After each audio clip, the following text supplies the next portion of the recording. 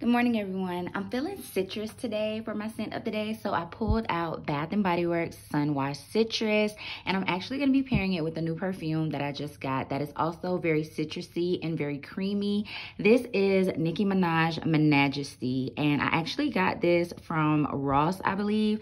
So this is a very citrus, sweet, vanilla scent. So it has notes of red berries, it has notes of peach, lemon, it also has vanilla, tonka bean, magnolia, and frangipani. So it is a very creamy, sweet citrus scent. And then paired with Sunwash Citrus, which is also sugared lemons, mandarin, and agave nectar. These two together are gonna be basically like a creamy orange sickle, okay? They are so pretty together. I really like the pairing. It's really nice and bright perfect for this warm weather.